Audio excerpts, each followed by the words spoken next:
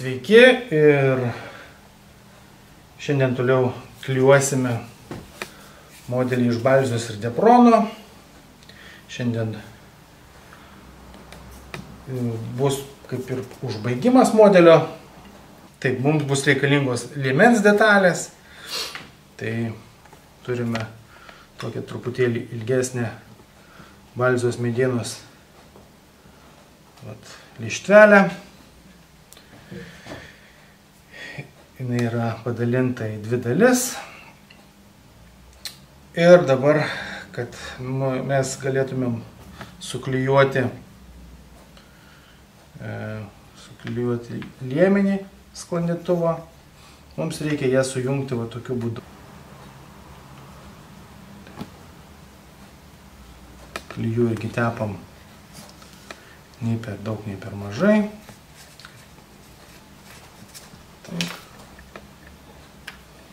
Galim kelias sekundės palaukti ir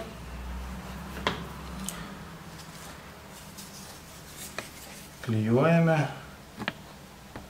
Čia bus mūsų šio sklandytuvo priekis. Va, taip, tokiu būdu bus priklyjuotas.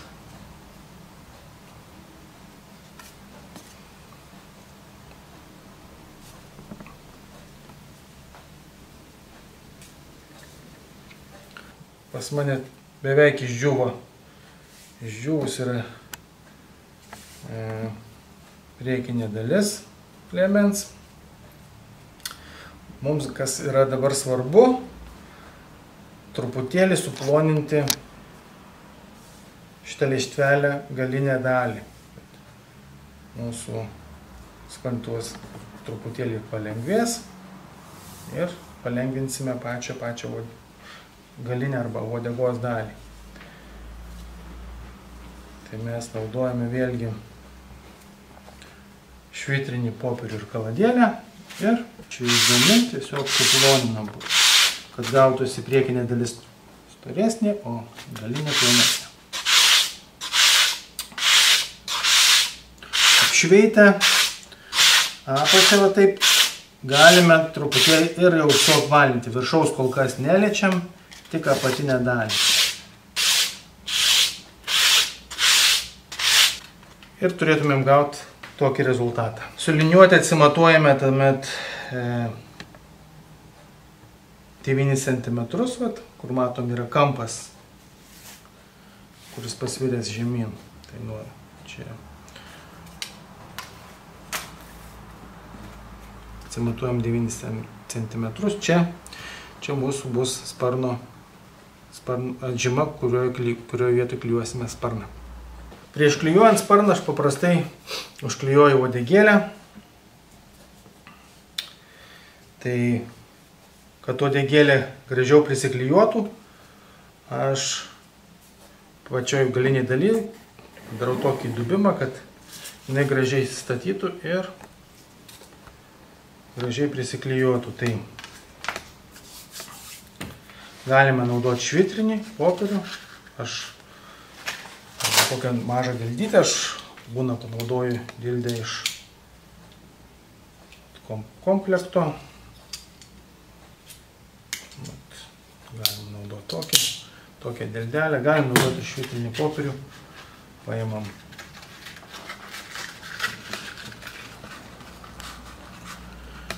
paimam uždedam vat, ant kampo ir tokiu būdu galim bus paruošti vadygėlės klėjimą.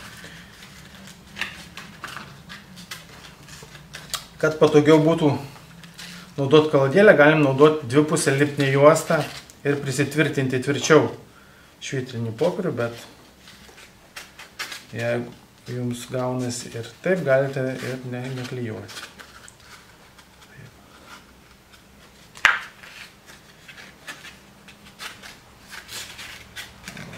Pasiruošiu ir tokiu būdu švitriniu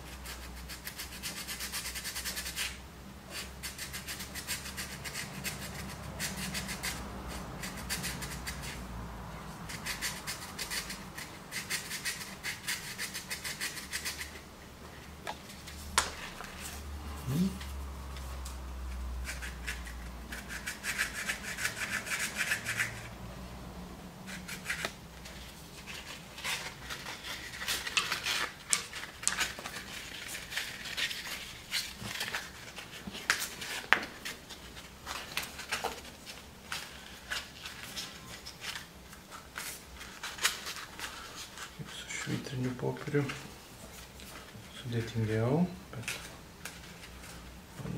padarysime su švitriniu. Taip, tai tada su švitriniu popieriu taip tiksliai nepavyko atlikti, tai panaudosiu aš dar truputėlį ir dildės. Rezultatas turėtų gautis va toksai. Ir dabar, vat, kur yra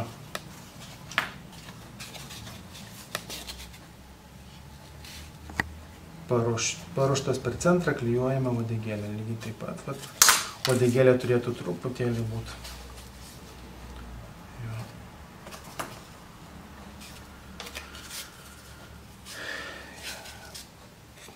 Mhm, tokios formos, vat, ir priklyjuosim. Prieš klyjuojant vadegėlę galim truputėlį pašveisti nors gražiau jinai visi prisi, prisiklijuotų. Ir tepam sudėgėlės, truputėlį palaukiam.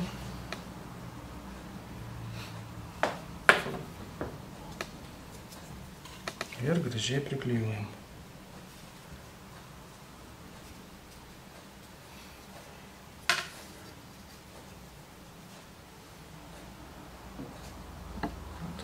Gauti tokį rezultatą.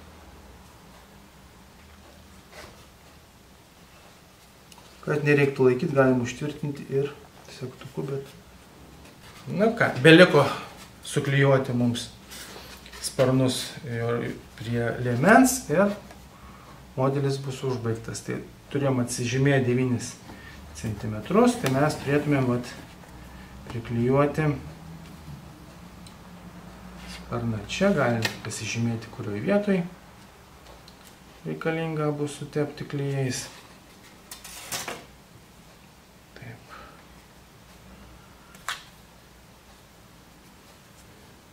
Ir tepame ir liemenį ir sparno klyjuojamą dalį.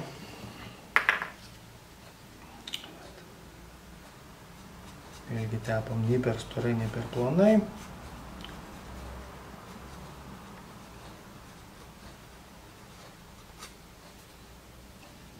Taip, ir paliekam truputėlį pudžiut kelias sekundės ir užklijuojam ir patepam klyjus ir sparno centrinėje dalyje.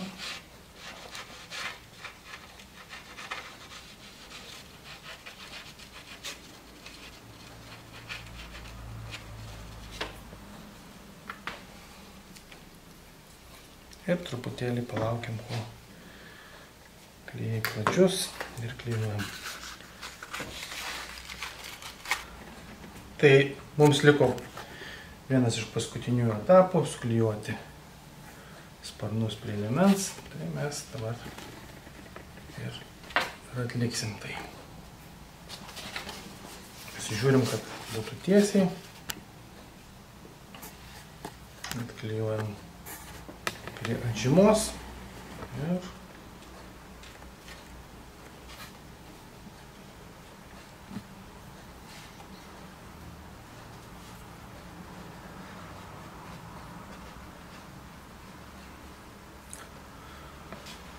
suklyjavus, o atrodyt turi vat šitaip.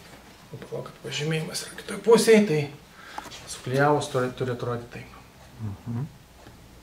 Ir paskutinis dalykas, kurį mums reikia atlikti, su, jau kai išdžiūna mūsų modelis, mums reikia būtinai su, subalansuoti svorį. E, aš e, visą laiką truputėlį dedu svorį į priekį, tai siūlyčiau ir jums tą patį padaryti prieš bandant. Tai paimam tiesiog plastilino gabaliuką ir tą plastilino gabaliuką užklijuojame